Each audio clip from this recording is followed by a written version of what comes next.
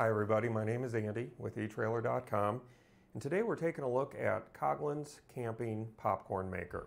Now this popcorn maker is going to be perfect for giving you the ability to pop corn at your campsite, uh, over a fire, or even over a portable camping stove.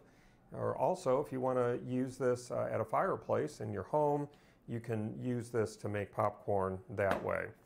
This has a very nice non-stick cooking surface.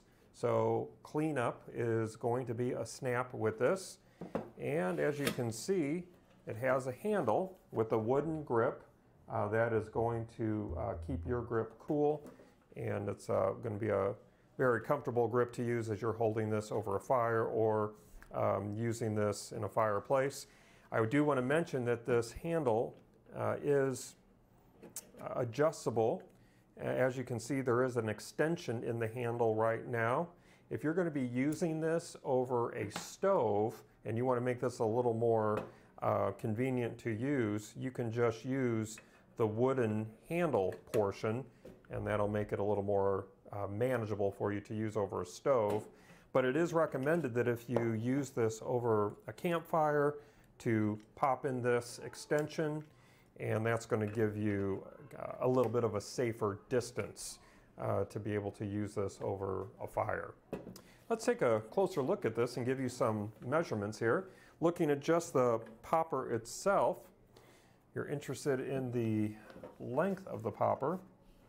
We're going to be sitting right at about nine and three fourths inches long and taking a look at the width of the popper, we are sitting right at about seven and a quarter inches wide. And the height, I'm going to say it's a little over three inches just because of the rise in the lid. So a little over three inches with the height. And then in regards to the bottom, the bottom does taper off. So we're looking at about line that up here. About eight inches, eight and one eighth inches long, and then wide, we're looking right at about six inches wide, right at about six inches wide on the bottom. Now the handle, pull this off again here, just to show you how that works. The handle just by itself with the extension is going to be sitting right at about 14 and a quarter inches long. And then the overall width of this handle at the widest points is going to be right at an inch wide. Again, I mentioned that this handle does come apart and the extension by itself is going to be sitting right at six and a quarter inches long and just the wooden part of the handle is going to be sitting at nine and a half inches long. And uh, before I put this together, uh, this does come apart for easy storage. So you won't have that handle that you have to worry about at the end if you're wanting to store this for easy storage. This all comes apart and so that is going to be nice and convenient.